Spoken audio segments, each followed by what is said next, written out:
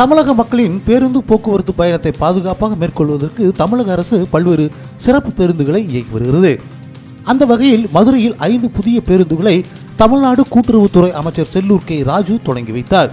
இதனையடுத்து செய்தியாளர் பேசிய அவர் திமுக மக்களின் பிரச்சனையில் இரட்டை வேடம் போடுவதாக குற்றம் சாட்டினார். ரெண்டாயிரத்தி பத்தொம்போதில் அன்று ஐநூற்றி ஐம்பத்தஞ்சு பஸ்ஸுகளை நாட்டுக்கு உடமையாக்கினார்கள். அந்த ஐநூற்றி ஐம்பத்தஞ்சு பஸ்ஸுகளை எட்டு மண்டலத்துக்காக பிரிக்கப்பட்டு இன்றைக்கு கொடுக்கப்பட்டிருக்குது.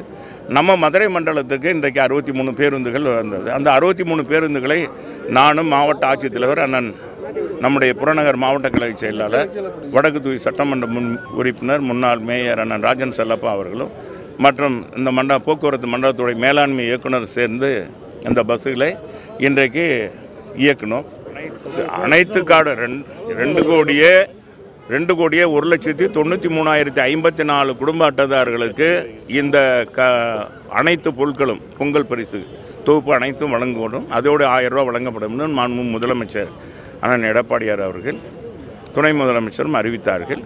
இன்னும் அறிவித்தது பிறகு கடந்த மூன்று நாட்களாக தொடங்கப்பட்டது. தொடங்கி நடங்க மாண்பு முதலமைச்சர் தொடங்கி வைத்தார். நேற்றைய தினம் உச்ச உயர்நீதிமன்றம் இன்றைக்கு நமக்கு ஒரு வழிகாட்டுதலை கொடுத்துருக்கு. ஏன்னா சட்டத்தின் அடிப்படையில் இந்த அரசு சட்டப்படி நடவடிக்கை எடுக்கும். தமிழர் திருநாள் என்னன்னா தமிழர் திருநாள்.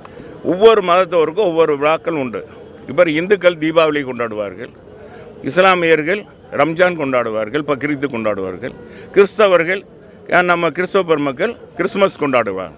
ஆனால் தமிழனாக ஒவ்வொருவன் உலகத்தில் இருக்கிற தமிழன் அனைவரும் கொண்டாடக்கூடிய ஒரு விழா மதத்திற்கு அப்பாற்பட்ட முறையில் ஜாதிக்கு அப்பாற்பட்ட முறையில் கொண்டாடக்கூடிய ஒரு விழா எதென்றால் இந்த தமிழர் திருநாள் விழா மு க ஸ்டாலினுடைய அறிவிப்பின்படி நடந்த திராவிட முன்னேற்ற கழக கிரா- கிராம சபை கூட்டம் என்பது முழுக்க முழுக்க தோல்வியடைந்திருக்கிறது.